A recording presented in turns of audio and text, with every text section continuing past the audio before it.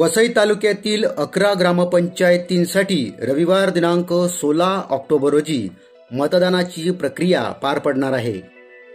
या निवडणुकीसाठी कायदा व सुव्यवस्था राखण्यासाठी पोलिसांनी मोठी तयारी केली असून तगडा बंदोबस्त असणार आहे. तालुक्यातील अकरा पैकी नव ग्रामपंचायती या मांडवी पोलीस ठाण्याच्या कार्यक्षेत्रातील आहेत. सकवार खानिवडे भाताणे आडणे मेढे शिरवली माजिवली शिवनसई व उसगाव या मांडवी पोलीस ठाण्याच्या कार्यक्षेत्रातील नव ग्रामपंचायतींसाठी सोळा ऑक्टोबर रोजी मतदान होत आहे.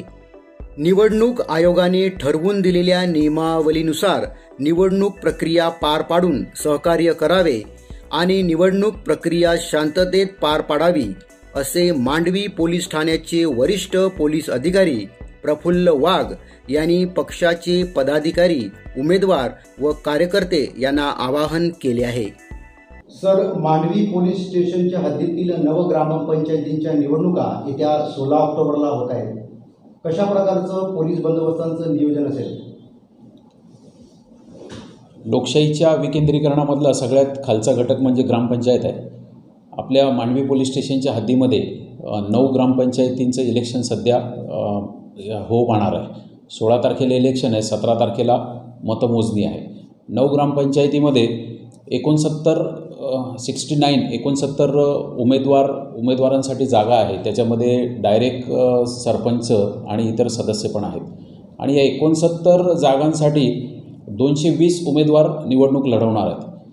या क- निवडणूक शांततेत पार पाडण्यासाठी जे यापूर्वीचं आम्ही जे बॅकग्राऊंड बघितलं आहे तर काही लोकांना काही कार्यकर्ते आहेत की त्यांच्याकडून आपल्याला निवडणूक शांततेत पार पार पाडण्यासाठी मदत व्हावी किंवा त्यांच्यावर कायद्याचा अंकुश राहावा यासाठी आपण त्यांना सी आर पी सी एकशे एकोणपन्नासनुसार नोटीससुद्धा दिलेल्या आहेत.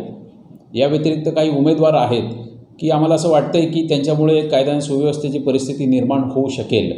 होणार नाही या आजूबाजूच्या परिसरातले लोक चांगले आहेत उमेदवार खूप चांगले आहेत होणार नाही. पण आपण प्रिव्हेंटिव्ह ॲक्शन म्हणून त्यांनासुद्धा काही उमेदवारांना एकशे एकोणपन्नासच्या नोटीस दिलेल्या आहेत.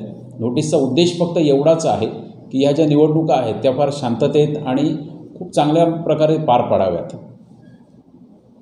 किती पोलीस बंदोबस्त असणार आहे? बघा नऊ ग्रामपंचायती आहे आणि मांडवी पोलीस स्टेशनचं क्षेत्र फार मोठं आहे. महसूलने चार झोन तयार करून दिलेले आहेत.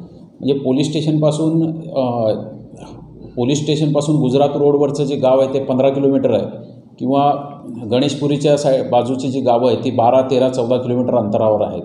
तर त्याच्यामुळे आपण सफिशियंट तिथे बंदोबस्त दिलेले आहेत आपण पोलीस स्टेशनचे आठ अधिकारी आणि जवळजवळ पंचेचाळीस अंमलदार याच्याशिवाय आपण एस पी सी पी ऑफिसवरून अकरा अधिकारी सदुसष्ट अंमलदार पंचेचाळीस होमगार्ड आणि महाराष्ट्र सुरक्षा बलाचे जास्तीत जास्त जवान एवढा बंदोबस्त आपण मागवलेला आहे.